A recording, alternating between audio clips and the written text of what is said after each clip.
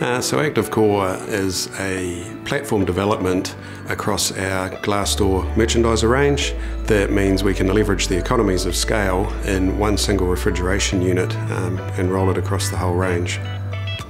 The concept of ActiveCore had been bouncing around for quite a while at SKOPE and we kicked it off uh, April 2013 with a competition. So within the design team we thought the best way to get some momentum was to actually have a competition the initial research phase was about eight months, fleshing out ideas, um, but from when the project kicked off in earnest, um, it was roughly an 18 month project, and that would have had up to 20 of our design engineers involved um, at any point in time to get through to delivering the first product.